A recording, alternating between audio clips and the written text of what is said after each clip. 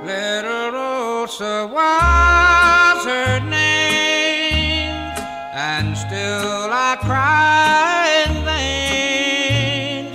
My world won't be the same since she's gone from me.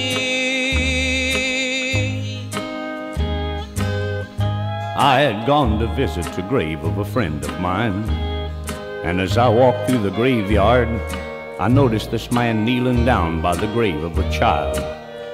And in his hand he held a big red rose, and tears were streaming down his cheeks. I walked over and laid a hand on his shoulder and started to talk to him. And during the course of our conversation, and in his broken English, this is the story just as he told it to me.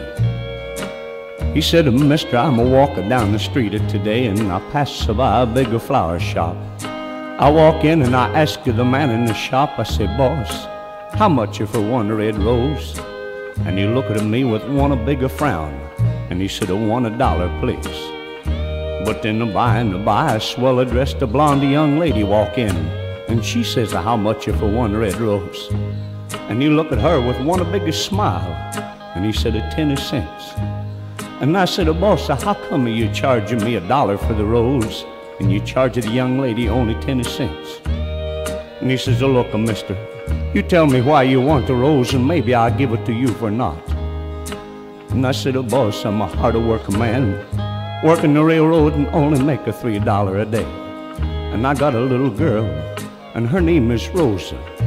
Rosa's just about this high, boss.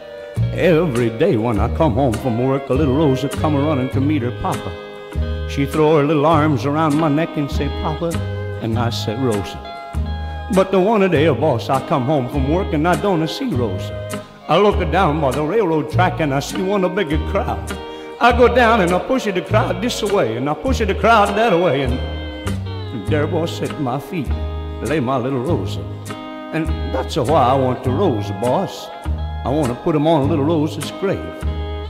The man he don't say not, but he picked the biggest and the reddest rose, and he give it to me. And I say, thank you, boss. Thank you very much.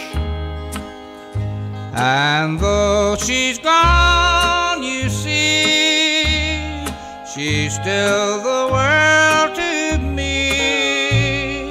To me, she'll always little girl of mine.